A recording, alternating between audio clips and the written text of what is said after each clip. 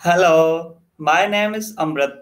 Welcome to Native Camp. Here we make learning fun and exciting.